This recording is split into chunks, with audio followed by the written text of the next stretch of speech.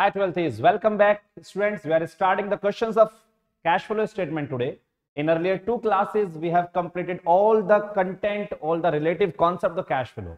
अब आपके पास ऐसा कुछ भी बचा हुआ नहीं है जो आपने नहीं पढ़ा है तो सारे कॉन्सेप्ट हम पढ़ चुके हैं। आप कोऑपरेटिंग के बारे में पता है, आप इन्वेस्टिंग के बारे में जानते हैं, आप फाइनेंसिंग एक्टिविटी के बारे में जानते हैं। अभी उन कॉन्सेप्ट के बेसिस पर हम क्वेश्चन स्टार्ट कर रहे हैं। तो आज का पहला क्वेश्चन हम स्टार्ट कर रहे हैं। आपके सामने क्वेश्चन एरा एक बहुत अच्छा क्वेश्चन है आपके सामने और इसमें सब कुछ आपको ऑलमोस्ट दिया हुआ है और बोर्ड एग्ज़ाम में आया हुआ क्वेश्चन है ये। तो क्वेश्चन बहुत अच्छा है, अच्छे से फोकस करेंगे और एक ही क्वेश्चन से कोशिश करेंगे सारे कॉन्सेप्ट क्लियर करने की। तो आपको पता है हमारे पास तीन एक्टिविटी है। Cash flow from operating activity cash flow from investing activity and cash flow from financing activity दूसरी बात, मैं क्वेश्चंस का जो फॉर्मेट होता था ना नेट प्रॉफिट बिफोर टैक्स निकालने वाला, वो मैं यहीं पर यूज़ कर लूँगा। मैं उसके लिए अलग से एडजस्टमेंट में नहीं जाऊँगा, क्योंकि I have to rotate the screen उसमें दिक्कत होती है तो मैं यहीं पर उसको मैनेज कर लूँगा साथ में। ठीक है? तो स्टार्ट करते हैं क्वेश्चन तो शेयर होल्डर फंड के साथ स्टार्ट कर रहे हैं। तो सबसे पहले आपको शेयर होल्डर फंड दिया हुआ है, और उसमें शेयर फंड में शेयर कैपिटल 30 लाख से 40 आपको पता है शेयर फाइनेंसिंग में जाते हैं? तो फाइनेंसिंग में लिख देंगे प्रोसीड्स फ्रॉम शेयर और ये बढ़ रहा है क्योंकि ये घटता नहीं है। कितना पैसा आया? Sir ten lakh rupees total आया। इसके बाद reserve and surplus note number two note number one आइए नोट नंबर वन पर। चेक करो रिज़र्व एंड सरप्लस में प्रॉफिट लिखे हुए हैं। छह लाख से कितने हो रहे हैं प्रॉफिट दस लाख। इसका मतलब ये आपका प्रॉफिट ड्यूरिंग द ईयर आ गया। Profit during the year six lakh से टेन लाख होने का मतलब है कि आपको चार लाख का प्रॉफिट आगे बढ़ेंगे। इसके बाद non current liability long term liabilities चार लाख से छह लाख हुई हैं। यानी दो लाख का आपने बोरो किया है या लोन लिया है, कुछ भी कंसीडर कर लो। तो proceed from long term liability दो लाख इसके बाद आप करंट लाइबिलिटी पर आएँगे बच्चे। ट्रेड पेबल ट्रेड पेबल तो वर्किंग कैपिटल चेंज का हिस्सा है। ये तो वर्किंग कैपिटल चेंजेस का हिस्सा है। तो सर हम इन्हें यहाँ कंसिडर ना करें, नहीं करेंगे। उसके बाद short term provision note number दो। एक ही चीज़ मिलने वाली है इसमें। प्रोविज़न फॉर टैक्स इसमें एक ही चीज़ मिलेगी। उसका नाम है प्रोविज़न फॉर टैक्स चेक करो कि एडजस्टमेंट तो नहीं है। पहले तो प्रोविज़न फॉर टैक्स को यहाँ पर देख लो। ये रहा।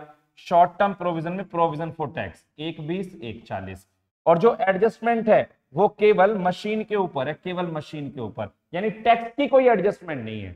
और मैंने क्या कहा था? अगर एडजस्टमेंट नहीं है तो करंट ईयर का ऑपरेटिंग में प्लस और पिछले साल का ऑपरेटिंग में माइनस बाद में जाके होता है। ठीक है? तो आप यहाँ पर प्रोविज़न फॉर टैक्स जो करंट ईयर का है that is one lakh forty thousand आप यहाँ प्लस कर दो। एक चालीस।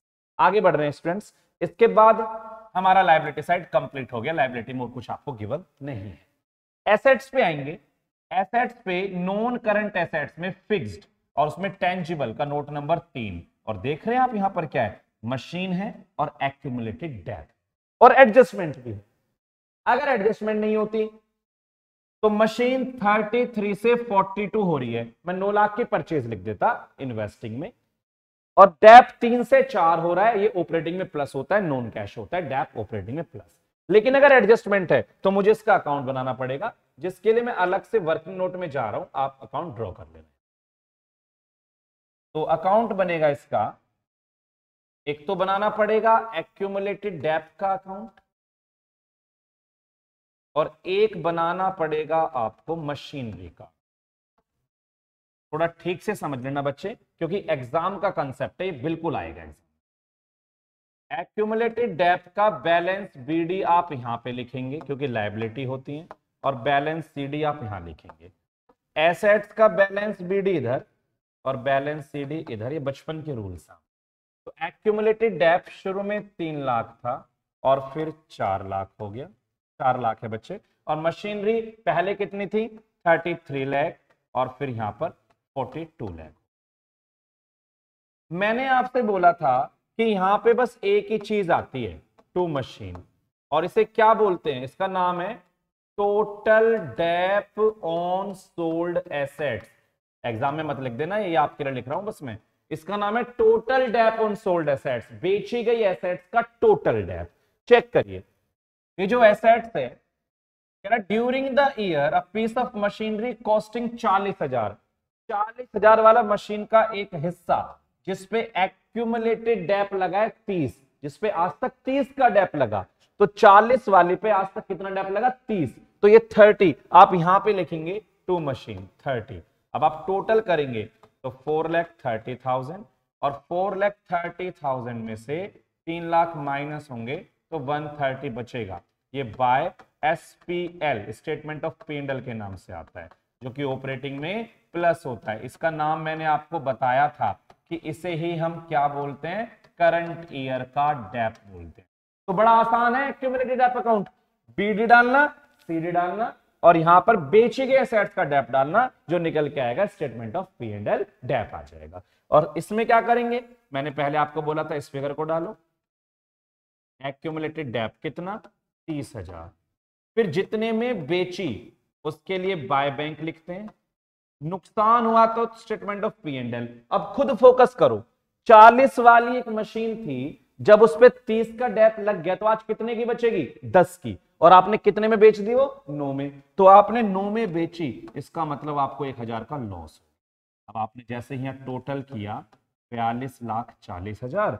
और इसमें से ऊपर थर्टी थ्री लाख को माइनस किया तो नाइन लाख फोर्टी थाउज़ेंड आपका परचेज निकल के आया टू बैंक और ट्रीटमेंट आपको याद है ये इन्वेस्टिंग में माइनस ये इन्वेस्टिंग में प्लस होता है और लॉस ऑपरेटिंग में प्लस होता है नॉन ऑपरेटिंग ठीक है?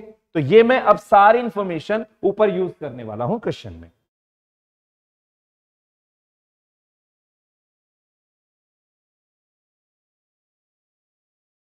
हाँ तो हम आगे बढ़ रहे हैं. तो हमने अब क्या क्या देखा? बेटा क्वेश्चन में कोई डिविडेंड वगैरह तो है नहीं? तो यहाँ पर इसका नाम आ जाएगा नेट प्रॉफिट बिफोर टैक्स मैंने आपको बताया था ना एनपीबीटी वर्किंग नोट से निकालते हैं। अगर कोई डिविडेंड होता तो वो प्लस कर लेते हैं। लेकिन डिविडेंड इसमें है नहीं। तो ये कितना आ गया? 540 इसके बाद ऐड करते हैं non operating and non cash expense business के ऐसे खर्चे जो नॉन कैश है और कुछ ऐसे खर्चे जो बिज़नेस के नहीं है नॉन ऑपरेटिंग है। तो जैसे अभी आपने देखा, डेप एक नॉन कैश एक्सपेंस है। वन लैख थर्टी थाउज़ेंड का डेप आ रहा था।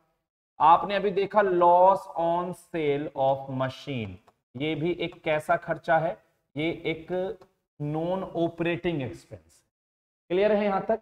तो हमने ये टोटल ट्रीटमेंट कर लिया टेंजिबल एसेट्स का और अच्छे से हमने कर दिया। बस यहाँ पे वो लिख देते हैं सेल ऑफ़ मशीन क्योंकि आपने एक मशीन को बेचा है और वो भी कितने में बेचा है? नौ हज़ार में। और आपने साथ साथ एक मशीन को खरीदा भी है परचेज ऑफ़ मशीन तेरह लाख चालीस हज़ार सॉरी नौ, ना, नौ लाख चालीस हज़ार में परचेज किया। मैं इसको थोड़ा सा वापस से सही कर देता हूँ। तो नाइन लैख फोर्टी थाउज़ेंड में आपने अभी परचेज करी है। ठीक है बच्चे, आगे आ जाते हैं इंटेंजिबल एसेट्स में नोट नंबर चार। और नोट नंबर चार में आपको दे रखा है यहाँ पर गुडविल पाँच चालीस से नौ चालीस। यूजुअली गुडविल कम होती है। हर क्वेश्चन में कम हो रही होती है। उस टाइम पे हम यहाँ प्लस कर देते हैं गुडविल राइट ऑफ़ लेकिन इस बार गुडविल कम नहीं हो रही। इस बार गुडविल बढ़ रही है। तो परचेज करिए। तो purchase of goodwill investing activity में आप लिख देना। आपके पास से कितने पैसे गए? क्योंकि तो कितनी हुई है? पाँच चालीस से नौ चालीस। तो चार लाख की आपने गुडविल परचेज कर। तो आपने ये भी कर लिया। इन्वेंट्री वर्किंग कैपिटल चेंज में जाएगा। वर्किंग कैपिटल चेंज में और ये एंड में आंसर मिलवाता है, ये इनके काम ठीक है? अब हम सिर्फ़ टोटल कर लेते हैं। यहाँ आएगा operating income before working capital changes तो ये आ गया सिक्स सेवेंटी वन एड करते हैं increase in current liability and decrease in current assets और लेस करते हैं decrease in current liability and increase in current asset तो चेक करेंगे करंट लाइबिलिटी में ट्रेड पेबल चार लाख से तीन। घट गए, यानी पे कर दिए तो decrease in current liability trade payable एक लाख घट गए। इन्वेंट्री तीन बीस से पाँच पाँच लाख परचेज कर ली होगी तो इन्वेंट्री एक अस्सी की परचेज कर ली होगी। और इसके बाद ट्रेड रिसीवेबल सेम है, कुछ नहीं हुआ, ना बढ़े, ना घटे। तो सर 280 माइनस कर देने चाहिए तो आपका ये आ गया 391 इसका नाम है ऑपरेटिंग इनकम बिफोर टैक्स यहाँ आप क्या माइनस करते हैं? टैक्स पेड पिछले साल वाला। कितना था पिछले साल का टैक्स पेड एक बीस.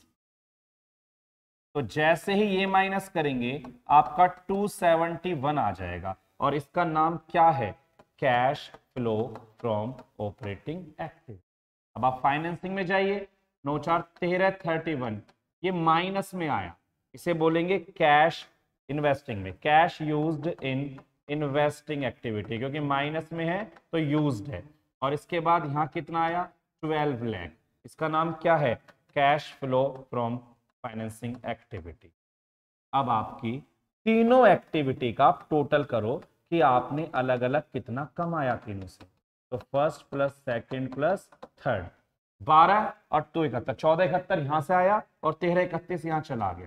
तो आपने तीनों एक्टिविटी से कितना कमाया? 140 अब आप इसमें ऐड करते हो opening cash and cash equivalent अब आप ये बात बताओ कि आपने तीनों से एक चालीस कमाया। साल के शुरू में देखो कितना कैश था। साल के शुरू में देखो कितना कैश था। कितना था? 240 तो एक चालीस तो कमाया और 240 शुरू में था। तो इसका मतलब आज तुम्हारे पास 380 कैश होना चाहिए। आज तुम्हारे पास 380 होना चाहिए। तो क्या क्लोजिंग का कैश 380 है? 380 तो इसका मतलब क्वेश्चन हमने सही किया है। तो ये closing cash and cash equivalent तो बच्चे, इस तरह से हम कैश फ्लो के क्वेश्चन करते हैं। ये इस तरह का क्वेश्चन है जो एग्ज़ाम में आता है, क्योंकि एग्ज़ाम में ना बहुत बड़े वाले क्वेश्चन नहीं आते कि आपको बहुत देर तक क्वेश्चन करना पड़ेगा, बहुत सारी आइटम होगी। छह नंबर में क्वेश्चन आएगा और इस तरह का ही क्वेश्चन होगा। इसमें ज़्यादा मेहनत आपसे वो नहीं करवाएगा। तो हम आगे एक और एग्ज़ाम्पल ले सकते हैं, साथ में समझने के लिए अच्छा सा। जस्ट वेट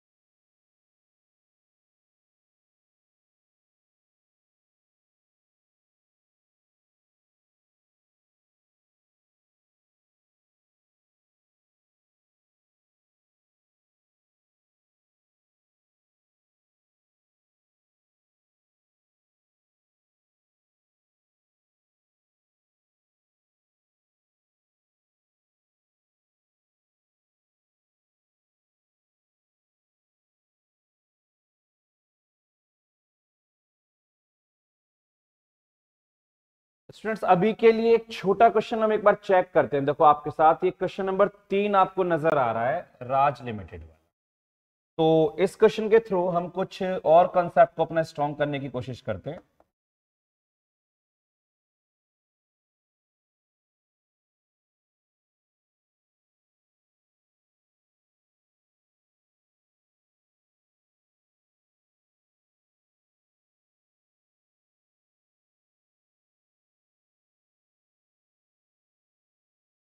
देखिए Raj limited has a profit of 17 lakh 50,000 for the year ended 31st March 2016 आपको उनका प्रॉफिट दे रखा है 31st मार्च 2016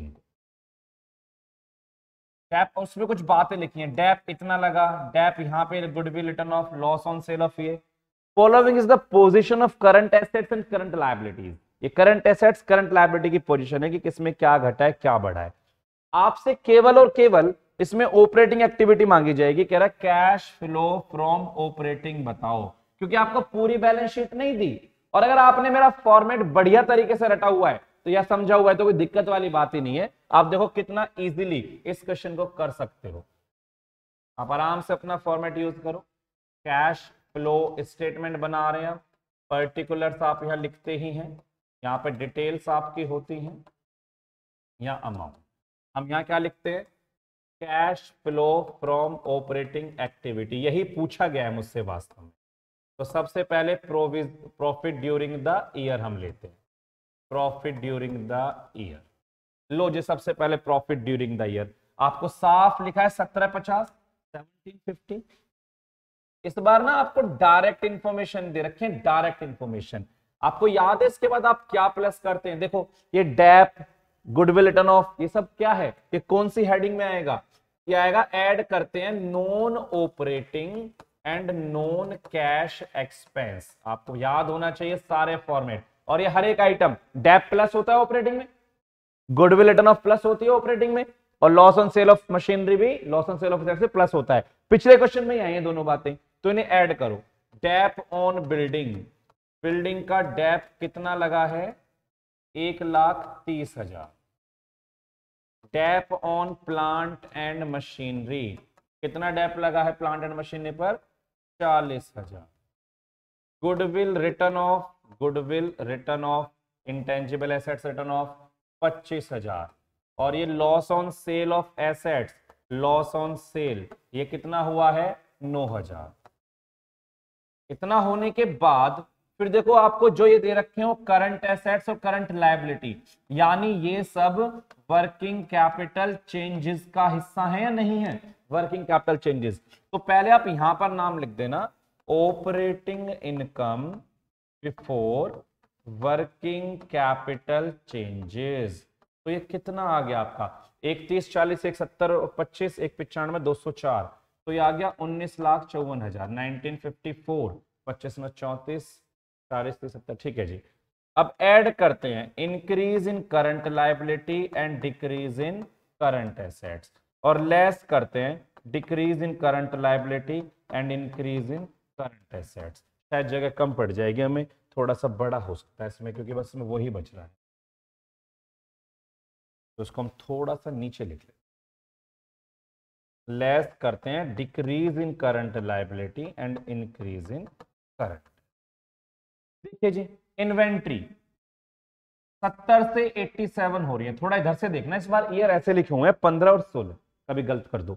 70 से 87 यानी 17 बढ़ रहा है इन्वेंट्री बढ़ रहा है तो मतलब पैसा गया, खरीदा होगा। तो increase in current assets inventory 17 से बढ़ गया। तो माइनस कर दो। ट्रेड रिसीवेबल 67 से 58 तो कितना फ़र्क है? 9000 9000 से कम हो रहे हैं, यानी पैसा दे गए। Trade receivable decrease in current assets 9000 रुपए दे गए। इसके बाद कैश इन हैंड का कोई काम नहीं होता। कैश इन हैंड एंड में आता है आंसर मिलवाने के, यहाँ कोई यूज़ नहीं है इसका।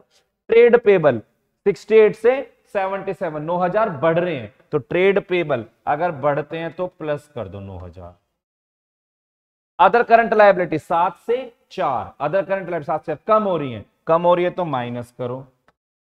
अदर करंट लाइबिलिटी सात से चार मतलब तीन हज़ार कम हो गई और इसके बाद ट्रेड पेबल बेटा ट्रेड पेबल नहीं होगा, ये कुछ और होगा, क्योंकि यहाँ ट्रेड पेबल लिखा हुआ है, मैं इसको भी कुछ नहीं मान रहा मैं इसे हटा देता हूँ, क्योंकि ट्रेड पेबल दोबारा नहीं हो सकता, वो तो गलती से कुछ हो गया है। ठीक है? तो फिर यहाँ पर हम इसको टोटल कर लेंगे कि नाइन नाइन एटीन प्लस हो जाएगा और 17 और 30 20 माइनस हो जाएगा। तो एक तरह से 2000 माइनस कर दो 1952 आ गया कैश फ्लो फ्रॉम ऑपरेटिंग तो मैंने आपको अभी एक कंप्लीट क्वेश्चन कराया और एक क्वेश्चन ऐसा कराया जिसमें केवल ऑपरेटिंग एक्टिविटी निकालनी अगली बार हम एक ऐसा क्वेश्चन लेकर आएँगे जिसमें आपके पास एडजस्टमेंट तीन से चार बढ़ जाएँगे उसमें टैक्स की एडजस्टमेंट में आ जाएगी प्रपोज डिविडेंड भी उसमें एडजस्टमेंट में ले लेंगे और बेटर कॉन्सेप्ट क्लियर करेंगे। तो मिलते हैं नेक्स्ट वीडियो में, तब तक टेक केयर बाय